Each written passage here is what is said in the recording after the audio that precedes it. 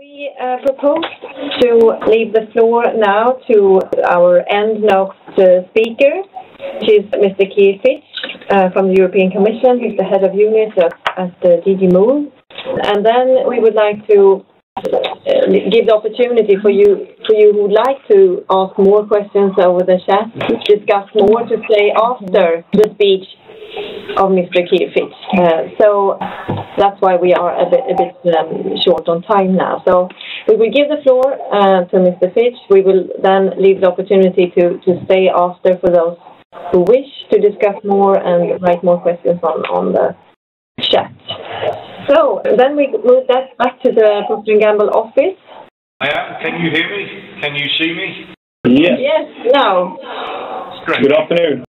Thank you very much for the, the opportunity to come and join this webinar. Uh, as many of you will know, the situation in Brussels is a little strange at the moment, so it's, a pity that you couldn't all come and join us for the, the conferences we'd hoped, but uh, nonetheless, uh, at least we can make use of modern technology and actually show that some of the things we develop for, in this case, uh, audience logistics, uh, deliver what we hope from them. We have some problems hearing. Okay, is that better? Can you hear me? That's better. Yep. Right. Okay, I, I should shout at the computer. uh, no, I was just saying that uh, I was very glad to be here. Um, it's obviously a pity we can't have the conference in the way we'd hoped to have it, uh, but uh, Brussels is a rather strange place to be at the moment, so at least we can demonstrate uh, the, the use of uh, modern technologies as a way of going a little bit greener instead. In terms, though, of the work of Swiftly Green, I mean, I, I hope you've seen, and those of you following on the web have understood that actually a, great deal of very interesting work has been done by the uh, consortium in terms of developing a toolbox. And I think that the toolbox approach is probably something which, for future research, is also something uh, that we would really want to encourage because it's very clear that actually, if you look uh, for logistic solutions and ways of uh, rolling out logistic solutions uh, to become really something which can be readily taken up by the industry. What we have traditionally tended to do having large projects with sort of one-size-fits-all solutions is probably not the, uh, the best approach and the easiest approach to getting delivery. So having a, a solution which actually consists of a, a range of different options, a range of different things that have been trialled working together, but also potentially working separately, I think is something which has a great deal to offer in terms of allowing very rapid take-up of the, uh, the options.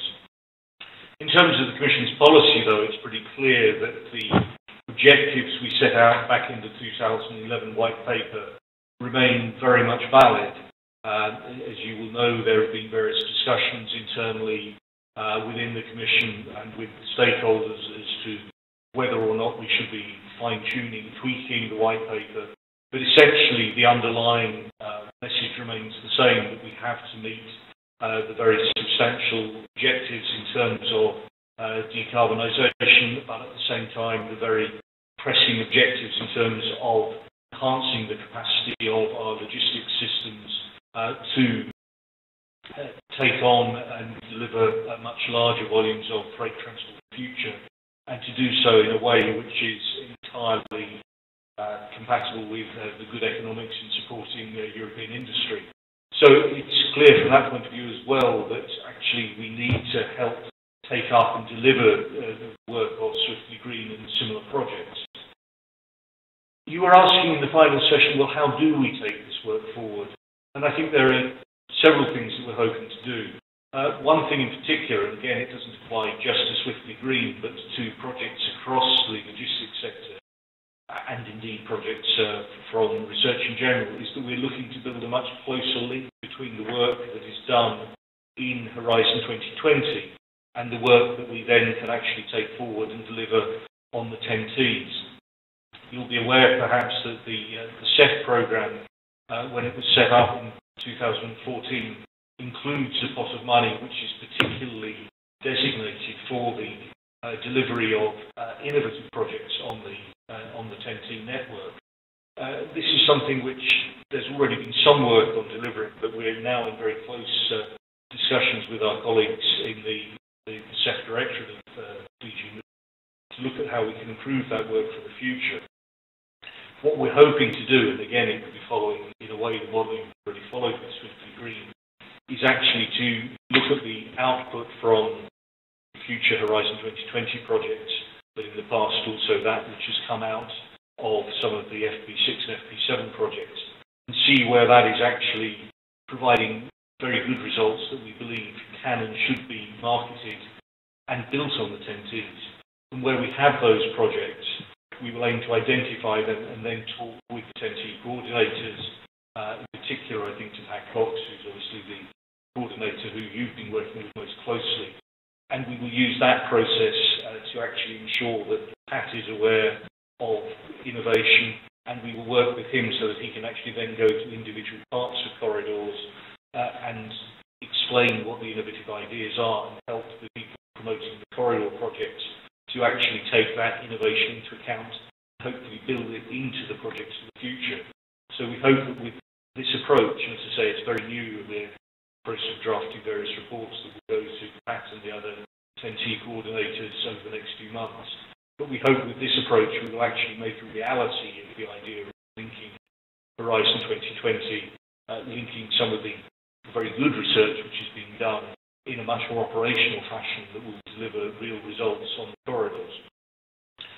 I think again the idea of looking at corridor governance solutions, looking at how we can build that into a, a system where there is actually the, the service structure there to deliver um, the, the greening of logistics along the corridors is again something of vital importance. Uh, that we see as being consistent very much with the move across transport to move beyond simply viewing systems as infrastructure and instead moving into the whole idea of mobility and logistics as a service. So this is again something that we will be working with our colleagues on the uh, on the TEN-T side to see how we develop in future. But as I said, the, the objectives of the white paper remain as valid as ever. And in terms of delivering them, of course, you've gone a long way. Uh, sorry, somebody's iPhone is trying to connect with the computer, which will no doubt cause uh, problems. Uh, the solutions you're developing in Swiftly Green are very important in helping us meet those targets. But it's also very important that we carry on uh, with further research work. And from that point of view, I would like very much also to invite you to uh, to look at the 2016-2017 work program and join us in a number of the projects which we've uh, outlined in that work program and which I hope uh, will um, take forward in a way much of the work that you've been doing already in Swiftly Green. And from that point of view, uh, as I say, I hope you've already looked at the work program.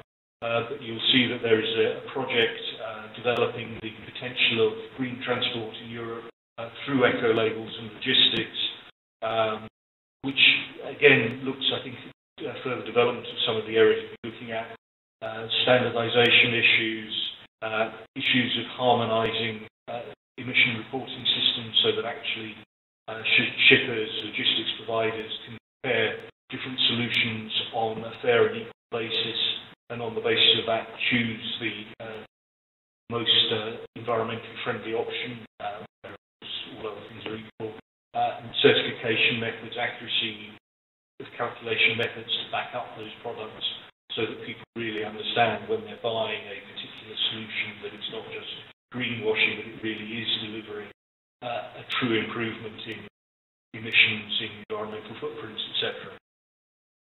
Uh, I mean, that's looking at uh, projects which are fairly small um, to help uh, join the, the various existing ideas together.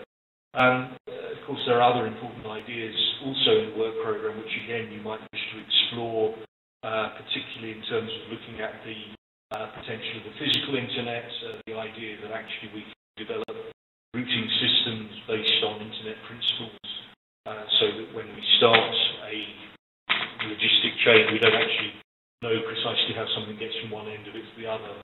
There is real-time decisions based on optimizing the use of capacity, again, also which allow uh, optimized use of capacity in that process. We also, of course, should be able to minimize our environmental impacts. Um, and finally, looking also at the work program, um, we're also looking at, of course, uh, further innovative use of IT solutions uh, and work on uh, the, creation of networked and efficient logistics clusters. Uh, the, the clustering work, again, would be looking at improved governance models, uh, the use of modular load units, allowing automated handling, uh, allowing, again, work on imposing very high load factors, and again, further work on uh, optimizing the performance of logistics clusters, etc. That, that's a, a program looking for medium-sized research projects, uh, four to six million euros probably. So um, things again that we hope to manage within the budget to get probably a couple of different projects, which again could do a lot of work. We hope to continue to develop some of the ideas. Now, as I say, those are research projects, so they're in, uh, under Horizon 2020. But it's very important that as we develop those, we also continue to build, I think, hopefully in real time, connections between the people working on those projects and links with the uh, promoters of the TEN-T, uh, with the coordinators like that, so that again there can be real time feedback into the projects uh, of your experience in rolling out some of the ideas under Swiftly Green, also in the real world needs of the, uh, the whole industry to ensure that the work developed in those projects uh, continues to deliver can actually very rapidly and readily use to deliver the uh, medium and long-term objectives that we have for logistics. So with that, uh, I would like to invite questions. Uh, very happy to try and answer a little bit more about how we uh, hope to take this work forward in the future, but also perhaps to hear some views from some of the people around the internet as to uh, how we better make the, the link between Horizon and TEN-T's work and ensure that actually the work we're now trying to build with the coordinators of the TEN-T deliver rapid results on actually really um, generates uh, long-term benefits from the work we've done. Thank you.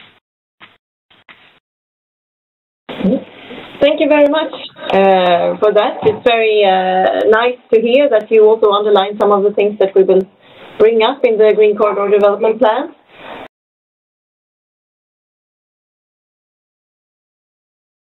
I would like to say thank you uh, for you, um, Mr. Keir Fitch. And um, we would also like to say uh, thank you to uh, all the participants um, of this uh, little bit special conference that we've had today. Uh, it's been a learning experience for us uh, as well, but it's um, maybe it's uh, the future way of saving CO2 to have these kind of meetings. It, it has worked, I think, very well uh, under the circumstances.